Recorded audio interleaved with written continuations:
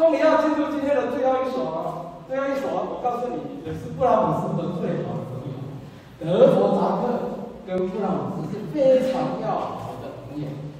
布拉姆斯写了很多匈牙利舞曲，德弗扎克也用四手联弹写了很多的斯拉夫舞曲，而且这个斯拉夫舞曲跟匈牙利舞曲后来都改编成管弦乐版，都较好又叫做。你到日本音乐天音乐会里面最后按摩曲很多是这些。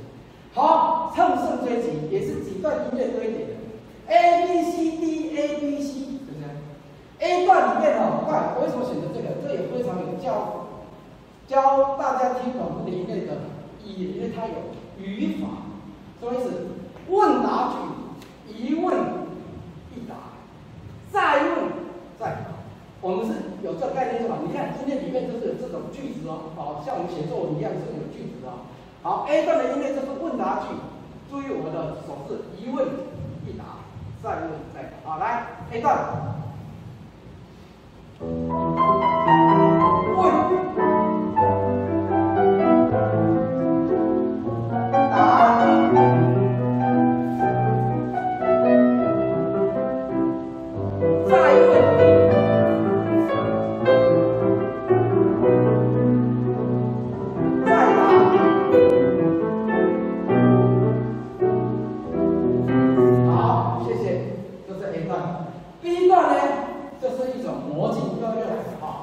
一波两波三波，一波比一波高，把它顶到最高潮。好，B 段就是我请来。